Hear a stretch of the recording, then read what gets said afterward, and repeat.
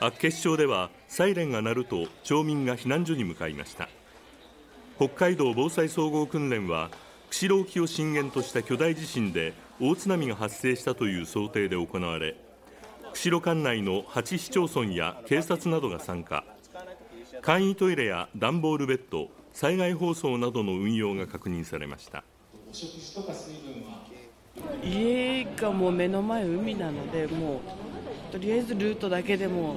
確認はしてるつもりです。道は巨大地震が起こった場合揺れや津波による道内の死者は最大14万9000人に上ると想定しています。